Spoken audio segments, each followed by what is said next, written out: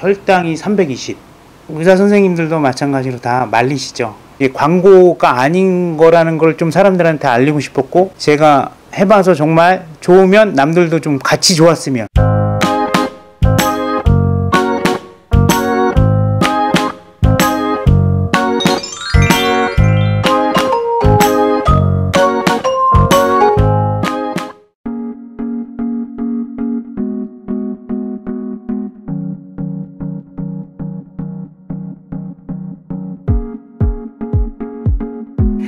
저는 어, 여기 경기도 고양시 일산 동구에 살고 있고요. 식사동이라는 동네고 그 다음에 나이는 올해 45살이고요. 그리고 어, 4명의 자녀를 둔 네, 사둥이 아빠입니다. 네. 아, 반갑습니다. 네. 원래 당뇨가 상당히 심하셨다고 들었는데 네네. 뭐 어떤 이유에서 이렇게 심했는지도 궁금하고 어느 네. 정도까지 심했는지 좀 궁금해요. 저는 솔직히 몰랐어요. 제가 당뇨라고는 전혀 몰랐고요. 어, 어느 날 이제 갑자기 어 그때가 이제 여름이었어요. 여름이었는데 이제 갈증이 나더라고요. 그래서 하루에 물을 거의 한 4리터 정도 그 정도 먹었었던 것 같아요. 그리고 이제 그러다 보니까 어느 순간에 이제 가슴에 왼쪽 가슴에 통증이 오기 시작하더라고요. 그래서 응급실을 갔죠. 응급실 가서 이제 검사를 해보니까 이제 피 검사를 했는데 어, 혈당이 320 그리고 뭐 나중에 또 이제 검사를 해서 안 거지만 당화혈색소가 12.6 굉장히 높다고 하더라고요. 그때만 해도 저는 몰랐어요. 제 몸이 이렇게 뭐 당뇨가 있다라는 것도 인지를 못했고 그냥 갈증이 좀 많이 났었던 거밖에 없었던 것 같아요. 그러면 그때까지 그때 당시에 뭐 체격이라든지 몸 상태라든지 생활 습관 같은 거는 어떠셨나요? 네, 뭐몸 상태는 되게 피곤함을 많이 느꼈고요. 그리고 자꾸 새벽에 자, 잠을 푹 못 잤던 것 같아요. 그리고 이제 생활 습관은 뭐 저도 이제 개인 사업을 하다 보니까 거의 끼니를 거의 이렇게 제때 챙겨 먹지 못했고 그다음에 거의 밤에 폭식하는 위주의 그 식습관이 있었거든요. 그래서 살이 그때는 처음에 이렇게 처음엔 한 110kg? 110kg 가다가 그때 막 물 먹으면서 이제 물을 먹으니까 살이 빠지더라고요. 그래서 그때 한 달 동안 빠진 게 한 10kg 정도? 그래서 제가 수술하기 전에는 그때는 한 99kg 정도 나갔었어요. 네. 그러면은 뭐 그 당시에 그러면 당뇨가 그렇게 심각하다는 얘기를 듣고서 어떻게 관리라든지 치료 같은 거를 받으셨나요? 어, 일단은 응급실에 갔기 때문에 세 군데를 잡아주더라고요. 외래를, 뭐, 처음에는 이제 심장, 그 다음에 안과, 그 다음에 이제, 어, 신장 내과인가? 거기를 이제 잡아줘서 이제 좀 기다렸다가 이제 그쪽에 이제 외래를 들어갔죠. 그래서 이제 하다 보니까 다행히 안과는 아직 이상 없고, 심장도 이상 없고, 근데 이제 소화기 내과를 갔었구나. 소화기 내과 갔는데 거기서는 이제 식도염이란 게 나와서 거기서 하고 그 다음에 신장 그 내과에서는 이제 당뇨라고 판정이 돼서 당뇨 이제 키트도 사고 뭐 교육도 받고 그리고 인슐린 처방을 받았죠. 약이랑. 네. 아, 그러면 그냥 대학병원에서 그냥 모든 상태를 다 확인은 그쵸. 스크리닝을 한번 하신 거네요. 그렇죠. 이게 어디 쪽에서 이제 당뇨가 몰랐던 상황에서 이제 발견이 되니까 이제 당뇨 합병증으로 인해서 어떤 부분이 이제 망가졌나를 보나 봐요. 그래서 그런 검사들을 다 했죠. 네. 그러면 그 내과적인 치료를 갖다가 뭐 약도 드시고 뭐 키트도 받고 하셨는데 네네. 그거에 대한 과정이라든지 뭐 진척은 있으셨나요? 근데 그때는 뭐 너무 혈당도 높고 당화혈색도가 일반적으로 제가 알기로 한 6 점 몇 정도가 이제 6 정도가 이제 정상이라고 들었는데 저는 12.6, 12.7이었으니까 남들의 거의 두 배 이상이 나왔었으니까 그때는 뭐 이제 뭐 똑같이 대학병원에서는 이제 그 교육도 하고요. 그 다음에 이제 뭐 어떻게 뭐 인슐린을 어떻게 맞는다든지 뭐 이런 설명들을 교육을 통해서 들었죠. 그래서 그때부터 이제 약을 먹고 아침마다 이제 인슐린을 맞으면서 이제 생활을 해- 하다가 이제 알아보게 됐죠. 이제 과연 내가 당뇨인데 어 어떻게 치료를 할 수 있는 방법이 뭔가 거기에 대해서 좀 찾아보기 시작했죠. 그러다가 수술을 받으신 걸로 알고 있는데 네네. 수술은 어떤 계기로 선택을 하게 되신 건가요? 첫 번째는 일단 뭐 흔히들 하시듯이 인터넷 서치를 시작했죠.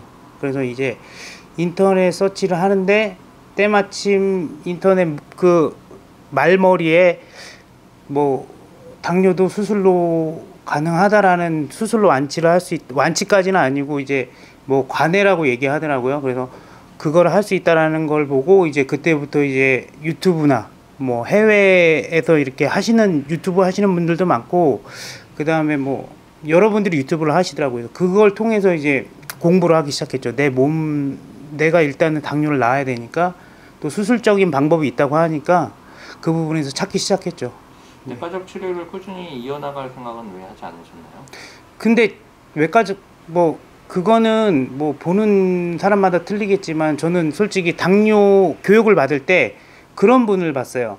당뇨였다가 이제 뭐 완, 완치는 아니고 이제 좋아졌다가 다시 당뇨가 와가지고 교육을 받는 분도 계시더라고요. 그래서 어 이거는 쉽게 이게 근본적인 거를 해결하지 않는 이상 이거는 계속 평생을 살아가면서 이거는 정말 절제하면서 살아야 되겠다는 게 좀 많이 느껴져서 근본적인 게 있다면 그렇게 한번 치료를 해보는 것도 나쁜 생각은 아니다라고 생각을 했어요.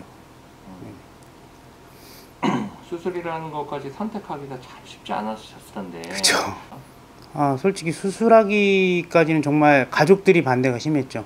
첫 번째는 그 뭐 다 아시겠지만 뭐고 신해철 씨께서 이렇게 뭐 그런 수술로 인해서 세상을 떠나셨고 그래서 모든 분들이 다 이제 가족들도 그렇고 제 주변 사람들도 그렇고 다 말렸죠. 그거 수술을 한다고 했을 때 굉장히 말리셨어요. 네. 그래서 그런 만류에도 어떻게 저는 저희 아버지도 당뇨셨고 저희 어머니도 당뇨로 돌아가셨고 그 당뇨 때문에 돌아가신 건 아니고 당뇨 합병증이죠. 그 아버지도 지금 아직까지도 인슐린을 맞고 계시고 근데 그런 걸 봤을 때는 저는 솔직히 그렇게 살고 싶지는 않더라고요. 네네. 주변에 뭐 다른 의사 선생님이라든지 상의를 해보셨을 때는 어떤 말씀 들으셨나요? 뭐 의사 선생님들도 마찬가지로 다 말리시죠.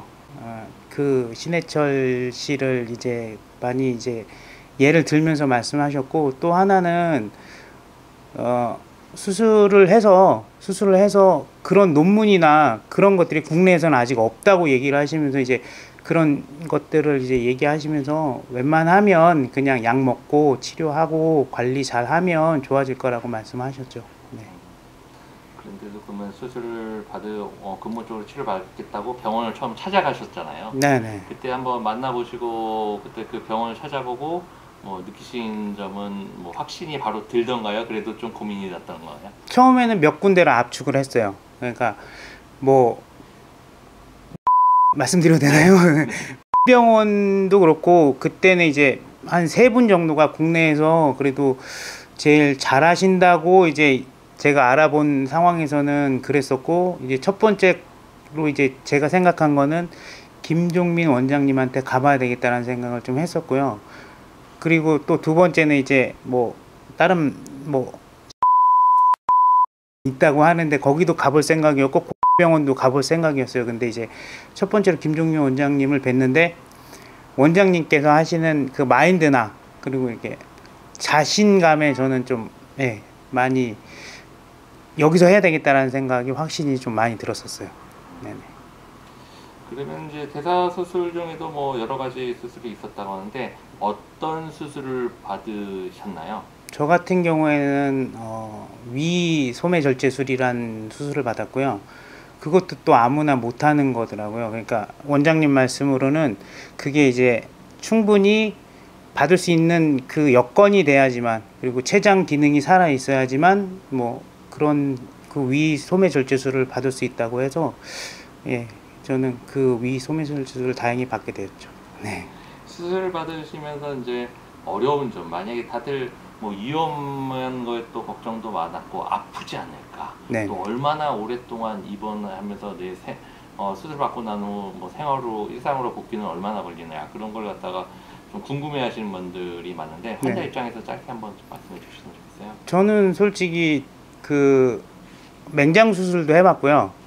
그래 그리고 맹장 수술을 해봤으니까 이제 원장님 이제 글이나 이런 걸 보면 특히나 유튜브를 되게 많이 봤거든요. 근데 원장님 같은 경우에는 이제 수술했을 때 고통의 정도가 맹장 수술 정도쯤 뭐 그 정도 될 거라고 말씀하셨는데 제가 해보니까 뭐 맹장 수술 정도 그 정도였고 솔직히 위를 절제한다는 게 솔직히 좀 많이 부담스러웠어요.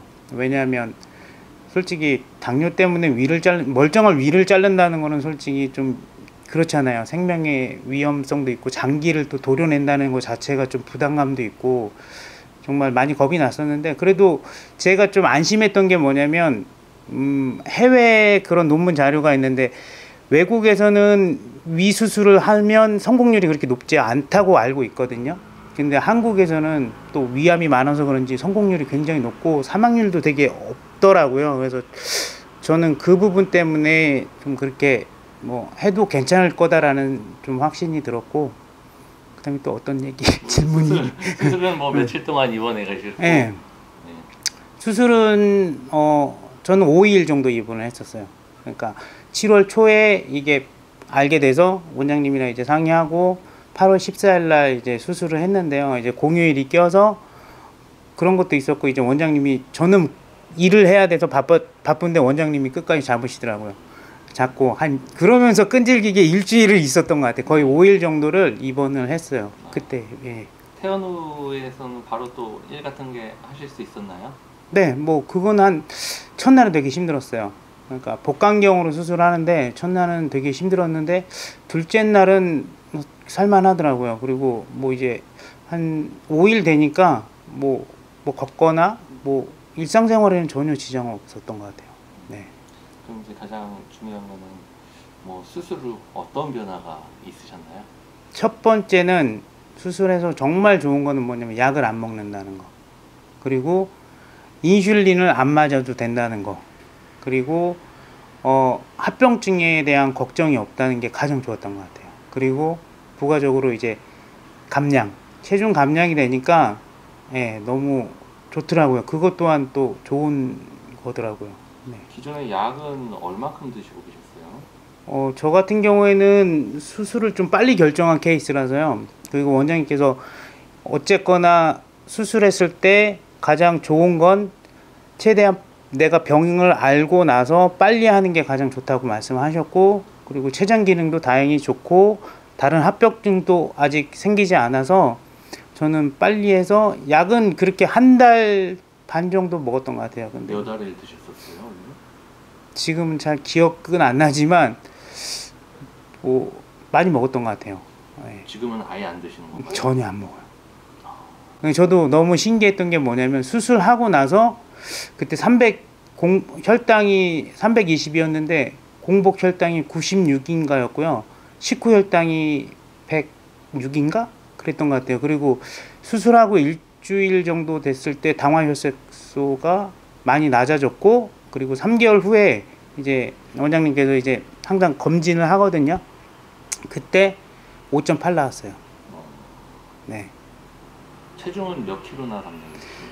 처음에는 90 수술하기 전에는 99kg였고요. 그 뭐 일주일 딱 지나니까 8kg 빠지더라고요. 그러니까 보통 8에서 9kg 정도가 빠진다고 하는데 저도 마찬가지로 한 9kg 정도가 빠졌던 것 같고요. 그리고 지금은 지금은 77kg. 수술 후몇 개월 지나신 거죠? 거의 수술하고 한 3개월이면 거의 뭐 한 3개월째 갔을 때 그때 인바디 체크했을 때가 79.9kg 나갔었으니까요. 그리고 하다가 이제 점점 점점 살은 안 빠지더라고요. 그러면서 이제 자기 체중을 유지해 주는 것 같아요. 네, 후 관리도 중요하다고 제가 들었는데 네네. 관리는 어떤 식으로 뭐 대략 하고 계시면서 또, 또 어려운 점은 또 있으신지 궁금합니다. 근데 이 수술의 가장 어려운 점은 그런 것 같아요. 뭐냐면 섭식 문제, 먹는 거요. 일단 위를 잘라냈기 때문에 처음에는 미음부터 시작하면서 이래 그 다음에는 이제 죽 종류로 이제 들어가면서 지금은 저는 이제 한 7개월째 돼가는데 지금은 이제 밥이랑 국 그리고 뭐, 뭐 야채 위주의 식단을 좀 먹고 있고요. 솔직히 뭐 술도 좀 먹고 많이는 못 먹지만 그뭐 원장님 말씀대로 꼭꼭 씹어서 먹으면 뭐 컵라면 정도도 먹고 먹는 거는 크게 딱히 문제가 되지는 않는 것 같아요. 그래서 천천히 조금씩 오래 먹으면 다 먹을 수 있다. 네, 그렇죠. 또 요즘 뭐 먹방 같은 것도 보면 뭐 시원하게들 먹고 TV에서도 맛있는 음식도 나오는데 네네. 과거에 또 한번 또 폭식처럼 이거 먹어야지 그쵸. 맛있잖아요. 그쵸. 뭐 그런 걸 한번 또 해보고 싶다 그런 그- 욕망은 없으신가요? 근데 그건 안 돼요. 그 이게 처음에는 그런 생각 갖고 이제 처음에 이제 조금씩 이제 물 넘김도 편하고 목 넘김도 편해지고 한한 2, 3개월 지나면 이제 어느 정도 이제 먹을 수, 있- 수 그리고 갈 그 먹는 거에 대한 갈증이 있어요. 그래서 한 번은 순대를 집어서 먹었다가 정말 너무 많이 토해서 정말 진짜 너무 힘들었어요. 그런 것들을 몇 번 겪다 보니 겪다 보니까 이제는 그런 습관은 없어졌어요. 그래서 천천히 조금씩 오래 그렇게 먹어야 되고요. 그렇게 먹을 수밖에 없어요. 네. 지금은 이제 어, 어떠세요? 행복하십니까? 저는 솔직히 행복하죠. 왜냐하면 첫 번째는 이제 아이들이 넷이 있다 보니까 이제 합병증에 대한 걱정도 없고 그리고 예전에는 등산을 가도 되게 힘들었는데 지금 아이 뭐 아들들이랑 등산을 가도 굉장히 몸도 가볍고 그리고 뭐 약 안 먹으니까 뭐 일할 때도 뭐 그거 시간대마다 이제 챙겨서 약을 안 먹으니까 그것도 좋고 그리고 살도 빠지니까 이제 아무 옷이나 이제 막 입을 수 있고 그리고 제일 좋은 건 다리를 지금처럼 꼬을 수 있어서 너무 좋고 이 다리를 꼬는 거는 이제 예, 좀 힘들었거든요. 근데 이제 다리 꼬을 수도 있어 좋고 뭐 여러 가지로 저는 좀 많이 좋아진 것 같아요. 그리고 사람들이 봤을 때도 어 되게 많이 변했다라는 얘기를 많이 들었어요. 그리고 못 알아보는 사람도 있어요. 뭐 사장님 바뀌었냐 뭐 이렇게 물어보시는 분도 계시고 그래도 뭐 매일마다 행복해요. 저는 이 수술하고 너무 행복해서 원장님한테 정말 감사드리죠. 예, 아직도 요거를 좀 사실 수술에 대한 두려움과 네. 아직은 뭐 보편화되지 아직은 우리나라에서 네, 네. 아는 수술이라서 좀 걱정을 많이 하시는 분들이 계신데 네네. 그분들한테 한 말씀 해주실 수 있을까요? 네, 저도 뭐 마찬가지겠지만 저는 지금 카페 이제 원에서 하는 대당한 사람들이라는 카페가 있어요. 거기서 이제 제가 아마 그게 2월 달 정도에 19년 작년 10, 19년 2월 달 정도에 그게 생겼었거든요. 그때 그때는 회원도 한 60명밖에 없었고 그렇게 뭐 활성화되지도 않았던 상태에서 이제 제가 이제 그걸 보고 이제 거기에서 이제 원장님 유튜브나 이런 것들을 보면서 이제 수술하면서 저도 이제 거기다 글을 썼죠.